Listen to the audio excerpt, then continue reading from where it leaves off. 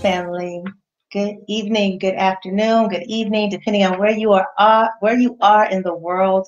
Good evening, or good afternoon, or even good morning. All right. If you are just tuning in to the show tonight, we are just barely getting started. Actually, haven't really officially started, but go ahead and um, share this broadcast now, like it, um, or put it in your archives to watch later. Um, I'm just going to release a word that has different nuggets in it that the Lord um, gave into my spirit um, for you to grab hold of. Okay, great. I see my messages coming through.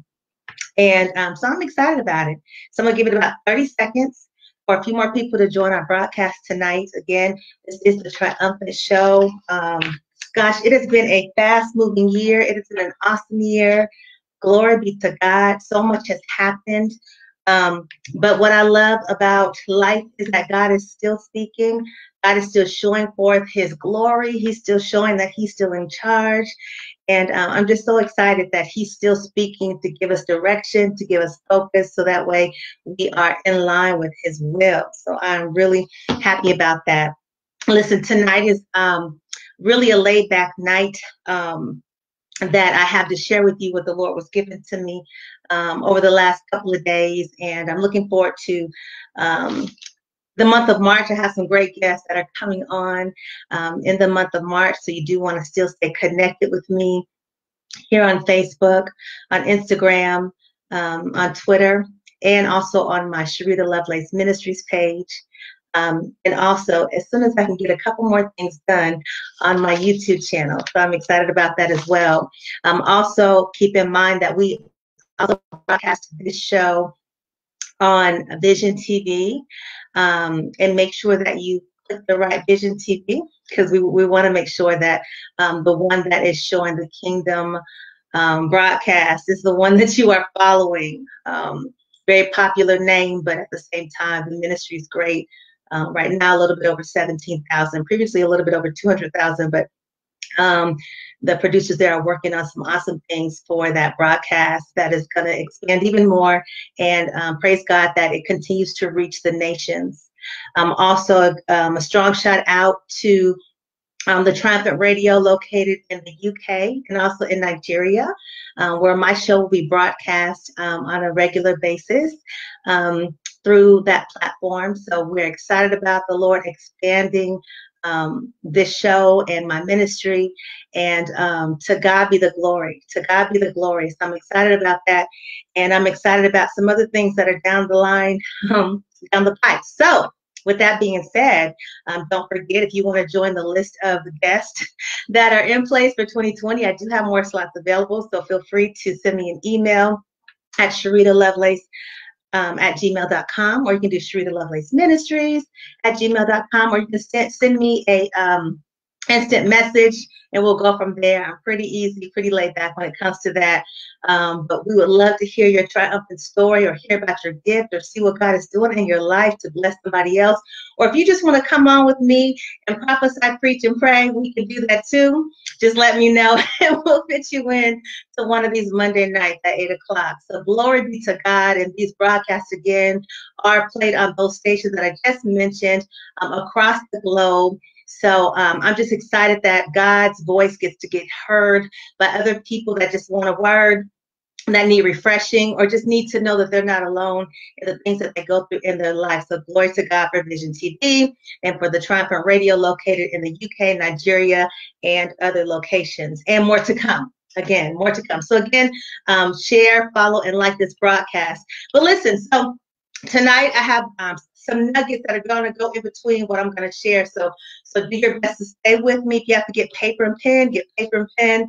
Um, but I want to release this and this word that the Lord was giving me. Some of it we know, but God just gave me some other nuggets to connect to it, just to keep us reminded as we are marching into the month of March and if you are feeling like things have not fully been fulfilled in your life so far since the beginning of the year, or if you feel that you've been experiencing some warfare or something's not right, or you're wondering why something hasn't manifested itself, um, this word is for you tonight for you just to be reminded and to be refreshed or to receive revelation um, of what God wants to show and share with you about whatever He's saying in your particular circumstance tonight. Because I'm going to tell you, He spoke to me. And um, He even showed me some things in a, in a vision that I had a few days ago that I had to share with my pastor and some other spiritual um, colleagues um, that what God was doing and what was so key is is what I'm sharing with us tonight. And it was just a reminder, but it's stuff we know.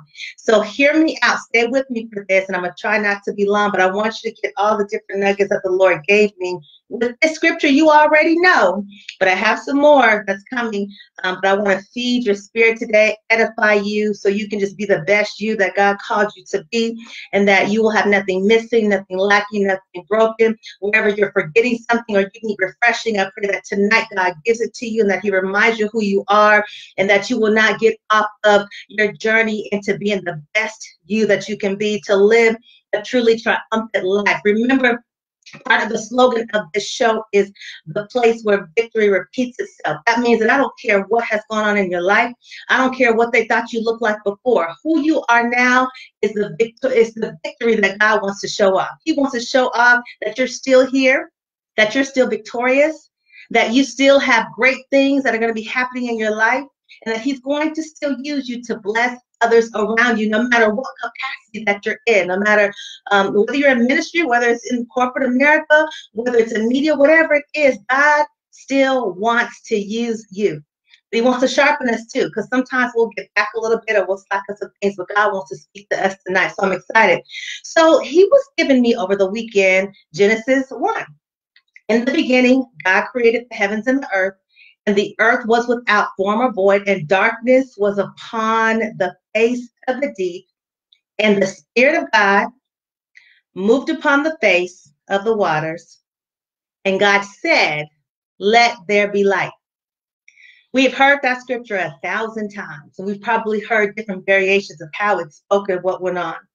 But for whatever reason, God had this scripture illuminate for us tonight and he brought out some other things in this. So stay with me and hear this. So first of all, when it talks about the spirit of God moving, we know in this um, in this word spirit, in the Hebrew, it's recognized as ruach Elohim, which means breath, wind, um, the spirit. The Elohim is the God of Israel. So the wind of God came upon something, the, the breath of God, the spirit, it moved on something. So it's the ruach that began in the beginning it was the breath of God that started things. It, it, was it was something that came and it began to hover. Some versions of scripture said that it moved. It began to do something. And when I think about dance and movement, I said, you know what? God started praise dance. He started liturgical dance because he moved on the face of the waters. And that's the beginning of the word that we have in the in, in, in our Bible. And so it talks about hovering. And when I think about hovering, I think about how, you know, you go out to dinner with people and let's say you're, you, you all order food to eat and you're waiting for your food to come and somebody got to go make a phone call or someone has to go to the restroom and so you have to wait. So your food is sitting there and you're just anxiously waiting and you're kind of almost hovering over waiting for an action or something to take place. You know what? It makes me think about the Spirit of God, how when he saw something or, or, or how he was how he came into that place of the waters, how he was ready to activate life, how he was ready to breathe in who he is to make a change, to make something happen. And after the Spirit of God came and hovered over there, it says later in that scripture, a line or two down, that God spoke, Let there be light. He spoke, Let there be light. He said, Let there be light. And guess what? There was light. There was nothing in between about that. There was one. Now stay with me, okay? So we're talking about an experience in the beginning. We're talking about creation. We're talking about a spirit that hovered and God spoke and something happened. And what reminded me a little bit is when we think about a spirit hovering over something, if you have a circumstance you're dealing with today, or you know someone that has a circumstance you're dealing with today, what spirit is hovering over that circumstance.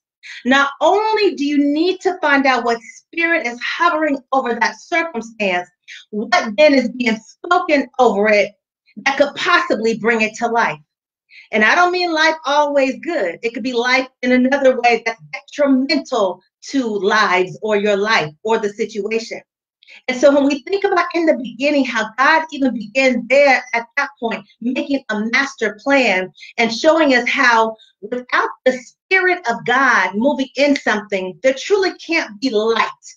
There can be something that manifests when a spirit hovers over something and somebody speaks something. But that's not the spirit of God I'm talking about that speaks um, that's part of the Trinity that speaks um, the power that He is, that breathes, that ruach breath in something, that to bring it to life and light. And so God was already showing us the blueprint that when there is a transgression or a situation going on, I'm bringing revelation out of this. There's more to it. Hold with me. When there's something going on and you begin to recognize it, that you call forth the Spirit of God, because that's the only Spirit that can breathe new life on that circumstance. Not only that, what you say about that circumstance brings life. That's the that's the first thing we see in the beginning of the creation. God, God was serious about that creation, which is why it is so important that we understand and we hear all the time that there's power in the tongue. There's death and life that we speak in the tongue. So when a spirit hovers over your circumstance, when you think about it, what could manifest if it's not the Spirit of God? If you're speaking something over your circumstance or situation that is not the Spirit of God and something else, what could manifest? Or is there something already manifest, it manifested in a situation you know of or your situation? And now you have to look back and wonder what spirit did I allow to hover over this situation and manifest this drama? Because when the Spirit of God is breathed and spoken in a place of darkness, light has to come. It manifests. It brings itself. So when, when the Spirit of God descends on us, it's like it, his presence lights up. It's the presence of God. Stay with me now. We're getting somewhere. So a spirit descending on your circumstance brings light. Just like the Lord said, let there be light when you have a situation going on and you see it's getting out of array, some of you need to just say, let there be light. Because there's something so powerful about light.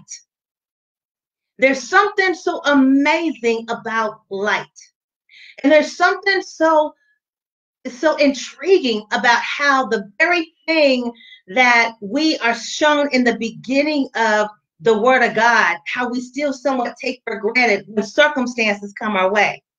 When is the last time you got into an altercation and did you just stop and said, ah, nope, spirit of God, nope, let there be light. And then the whole, the presence of God comes on in, brings light, changes and transforms that situation. And when that happens, God says, and it was good because everything God does, He does it well and He does it good. But something happens when light comes in.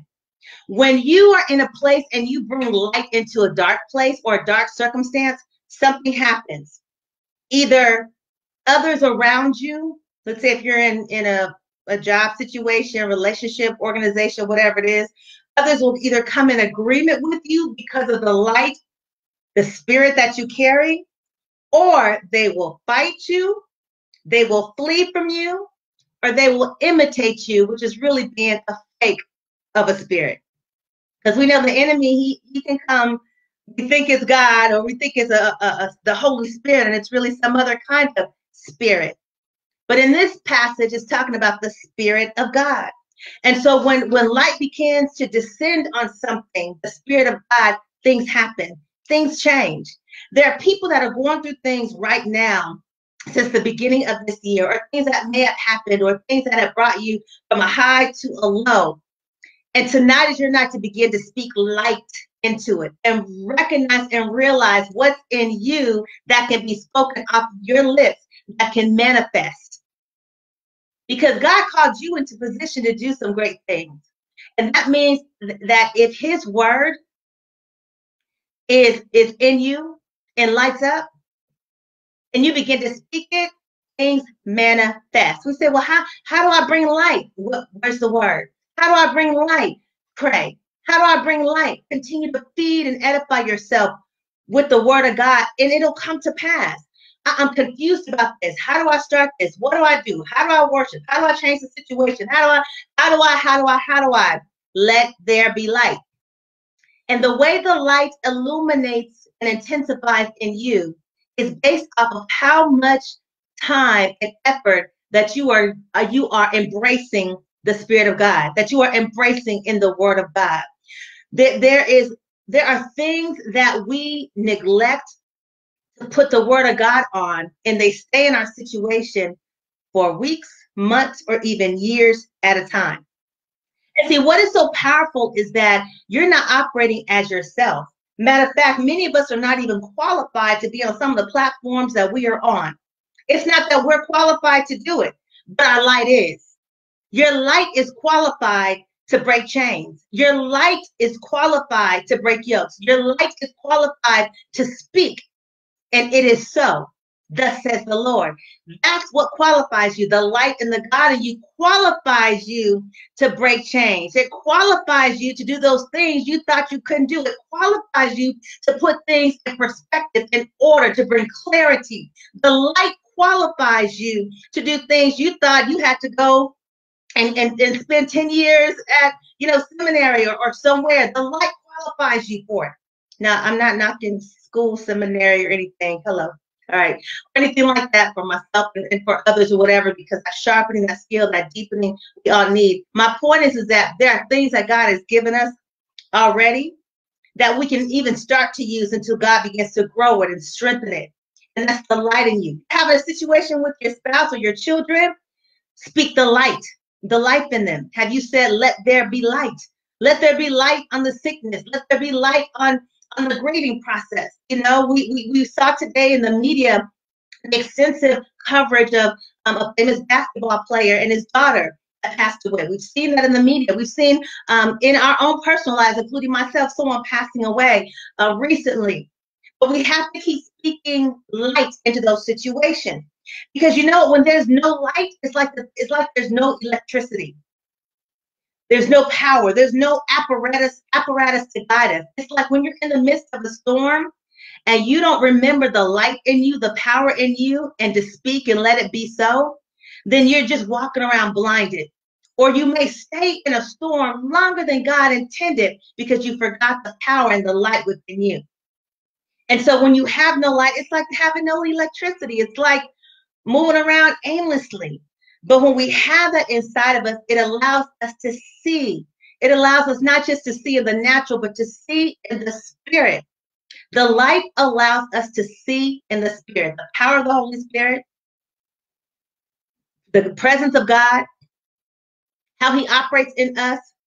And when he gives us wisdom and we pray for wisdom, it allows us to see beyond our natural eye. It allows us to see in that spiritual place.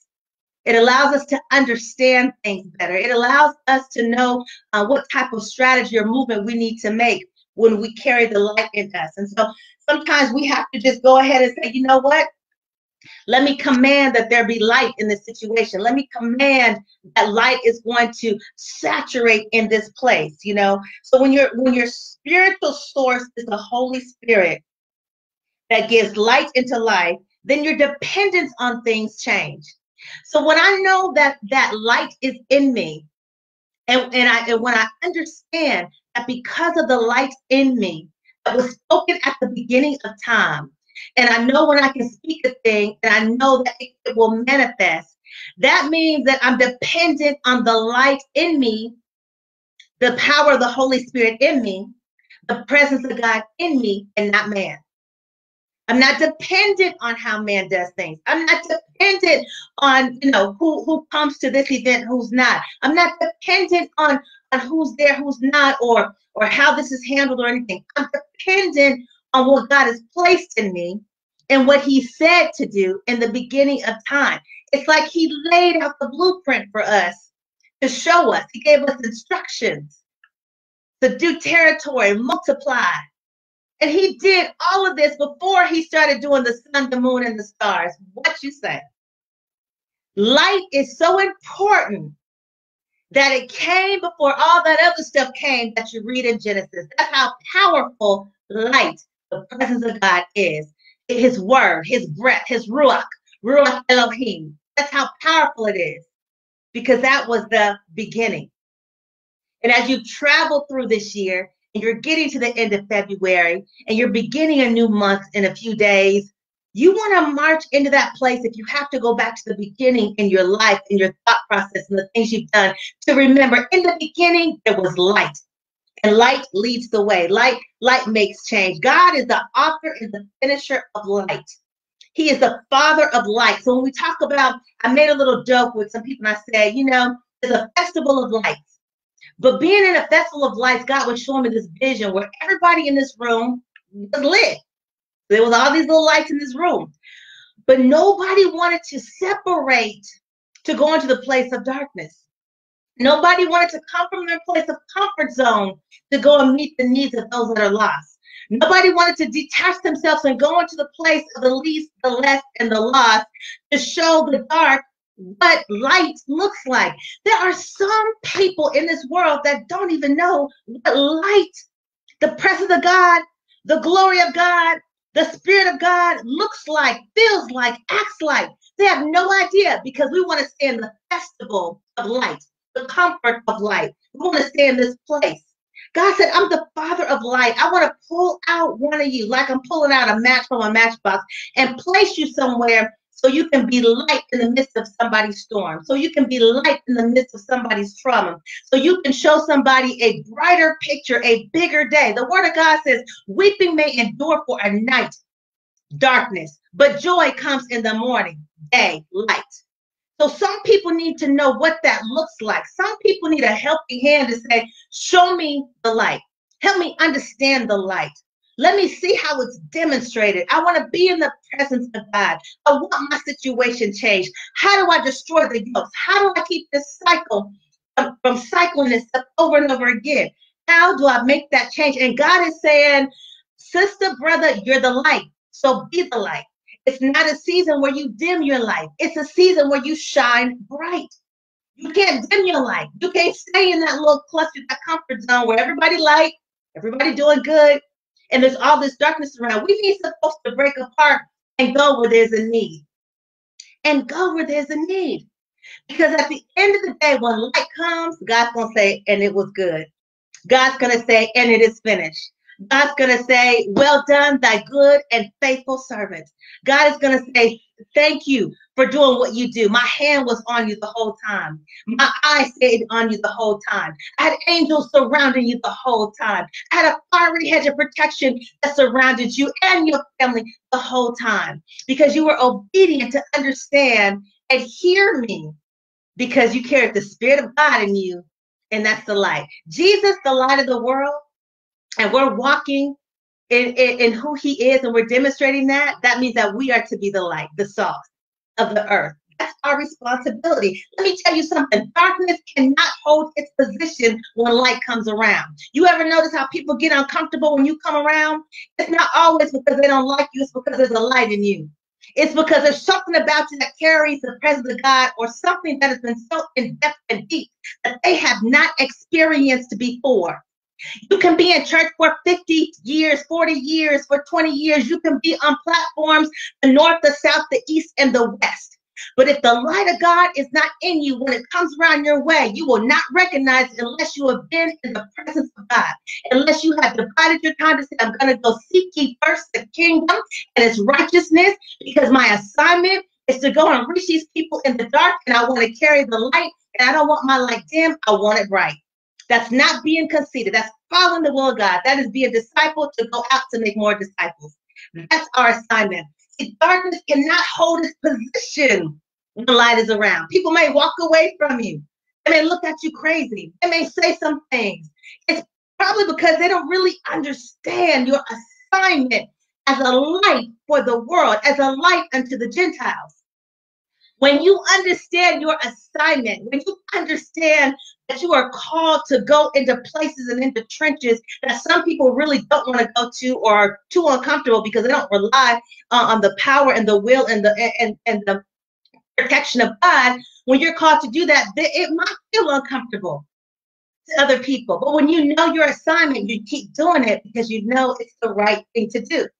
Darkness can't hold up in light. When you keep your head up and you walk with the light of the Lord, when you walk with the fruit of the Spirit, when you walk knowing that your light is not going to dim, it's going to shine, darkness will not hold up.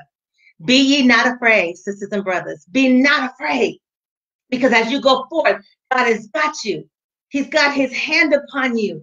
When you know your assignment, you know where you're sent to go to be the light in the midst of the darkness. You'll carry the Spirit of God. And then when you get there, the way you're activating the light in a dark place is that you're speaking. In the name of Jesus, the gates of hell shall not prevail. In the name of Jesus, the blood cover and keep. In the name of Jesus, Satan cannot come near me. In the name of Jesus, sickness is healed. In the name of Jesus, no more disease. In the name of Jesus, I declare joy. In the name of Jesus, the heavens shall open and pour out a blessing in this place. In the name of Jesus, may he clean this place and strengthen this place and do whatever he has to do in this territory. When you know your assignment, you can go there and you can begin to speak and activate and manifest the light in a place of darkness. That's when you carry the Spirit of God, which is the light, His presence as well.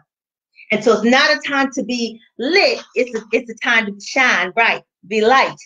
It's okay to separate yourself and do what you're called to do so you don't miss out on your assignment because a lot of times our assignments are for us too. They grow us, they groom us, they change us, they transform us, they transfigure us when we're in that place in that glory cloud with the Lord, things happen to us.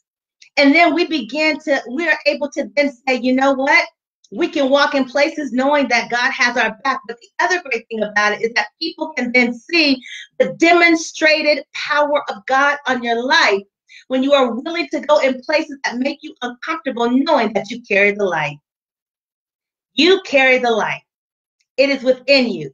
You are to declare and speak the light over your life. Listen, I like this scripture in Isaiah. So write it down when you get a chance. Isaiah 42. And just parts of it say, in the first verse, it says, Behold, my servant whom I uphold, my elect one in whom my soul delights. I have put my spirit upon him. He will bring forth justice to the Gentiles. There we go. We're talking about it. He will not cry out, nor raise his voice, nor cause his voice to be heard in the street. I'm going to keep going down a little bit more. I don't want to read the whole thing. By the time we get to verse 6, it says, I, the Lord, have called you in righteousness. I will hold your hand. I will keep you and give you a give you as a covenant to the people, as a light to the Gentiles, to open blind eyes, to bring out prisoners from the prison, those who sit in darkness from the prison house. I am the Lord. That is my name.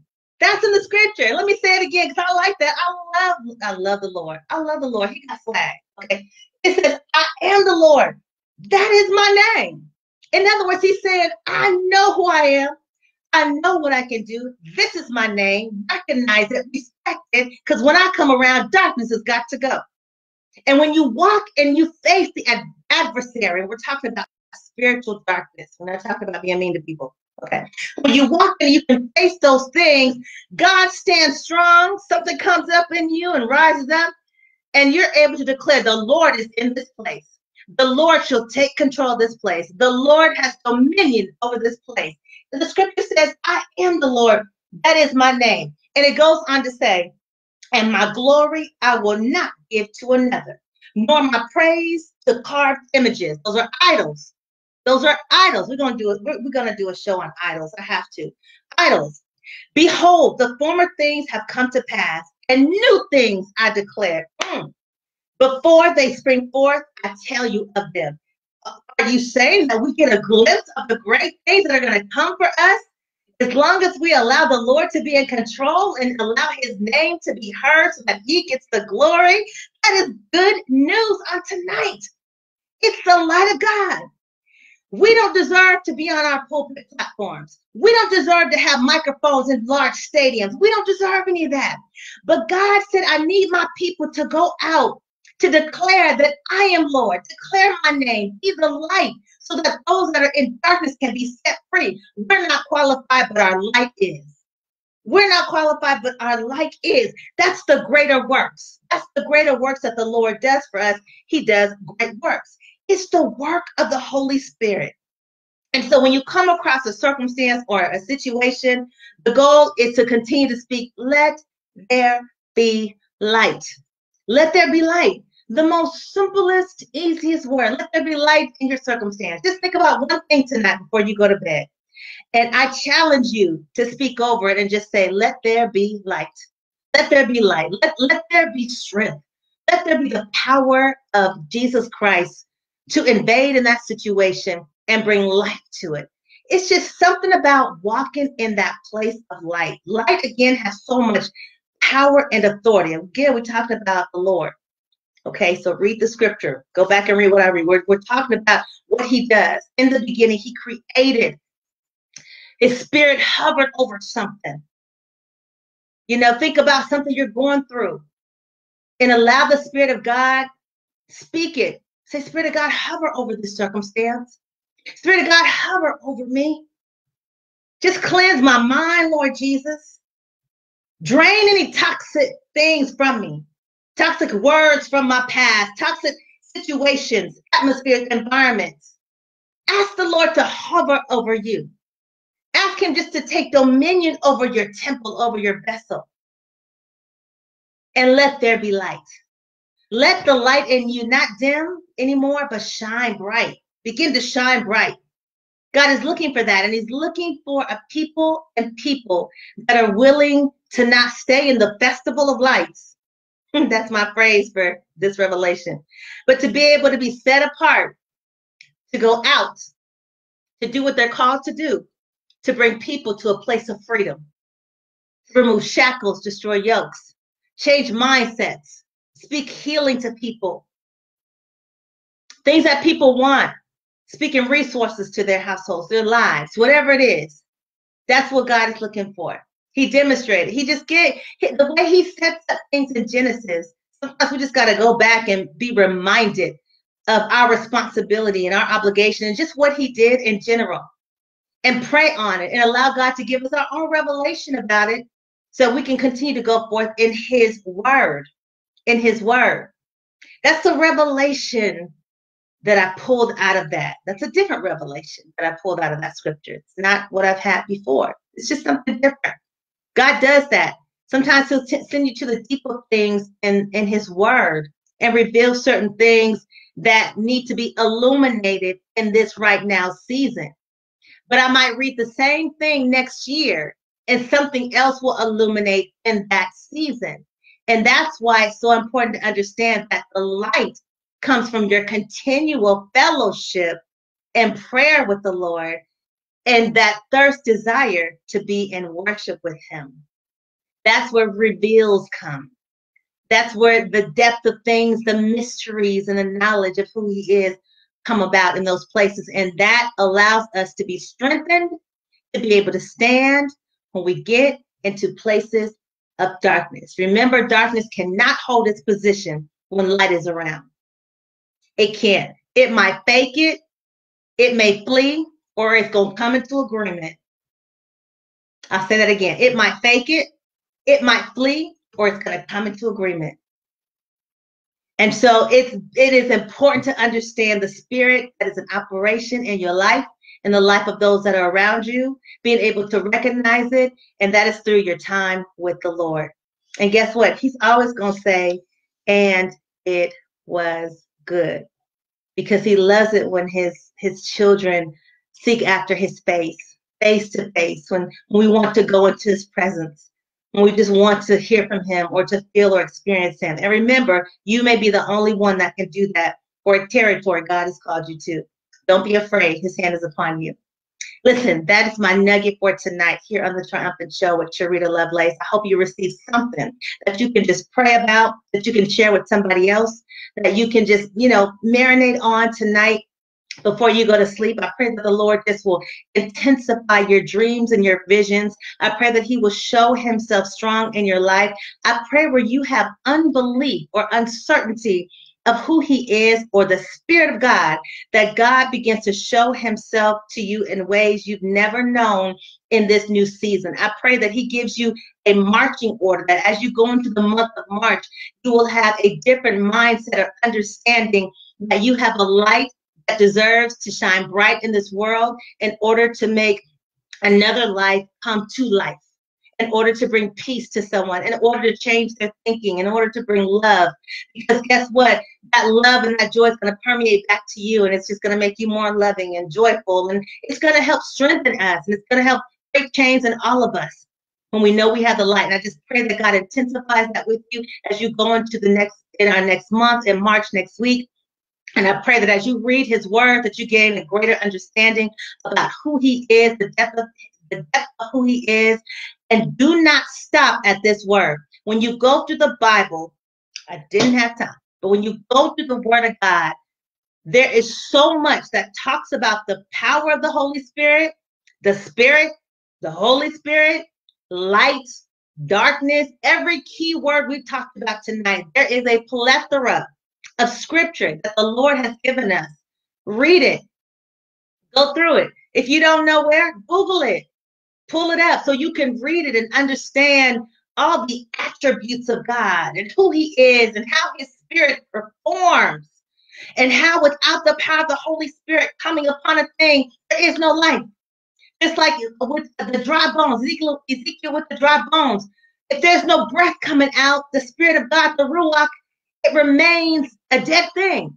And guess what? Even if those bones raised up into that position, it still does not carry the power and the authority of the eh, with the ruach of the Holy Spirit that it should if it is not have the light of God. If it's just something that just raises up, you can raise up anything, you can create anything, but if it does not have the breath of God on it, the hand of God on it, the presence of God on it, I don't know how much life that has. Only what we do for Christ will last, and only what he does and gives us and what he ordains, he maintains. So it's so important to understand that there's so much more. There's so much more revelation. I pray to God tonight that you'll pull out those keys and you begin to walk in the light and just be reminded this week as you go through your job, wherever, just say, hey, everybody, Jesus is the light of the world. You see somebody arguing, say, Jesus is the light of the world. or just say, let there be light. You walk into the ladies' room or the men's room and you see something going on crazy, somebody's on the phone having an argument, just be like, Jesus is light, light of the world. Let there be light. Begin to speak. Let there be light on everything. Walk through your school. Let there be light. Calm those kids down. Walk, walk through your neighborhood. Let there be light. Calm the people down. I don't know you. There might be need, needs to be a change somewhere. Let there be light. Begin to speak it because the word is alive and it's sharper than a double-edged sword. And that means from beginning to the end, from Genesis to Revelation, it's alive.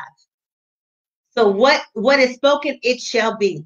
You just have to believe it. I always say that. You just have to believe it. All right, I'm really going to leave now because if I keep going, I'm going to go into idols. I really want to hit that. So stay with me over the next couple weeks. I'll try to fit that in about idols and idol worship and what does idol idolatry look like?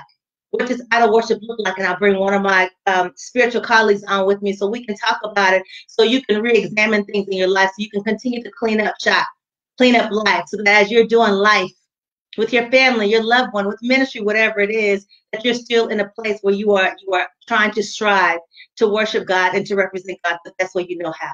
We all fall short, have fallen, fallen down and fallen short of the glory, but God is a God of grace and mercy. He gives that every day. It's a gift.